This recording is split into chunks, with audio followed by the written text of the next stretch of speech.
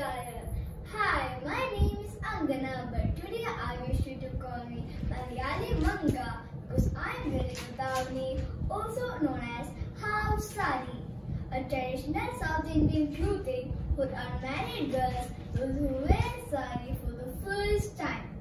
This traditional dress marks the transition from a girl to a womanhood. It is a piece of cloth which is about 2.5 meters long, from the pavada and the blouse within this costume.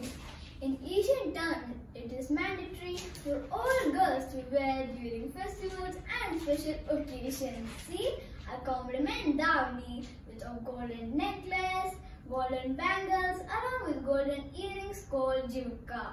Nowadays, there are so many innovations coming in this attire, rich clothes, highly embroidered, etc. So the ethnic garment has now changed to a trend. I believe my speech is incomplete without a Malayalam song. So I'm going to sing two lines of a Malayalam song. തിരുവാണിരാവ് മനസ്സാകി നിലാവ്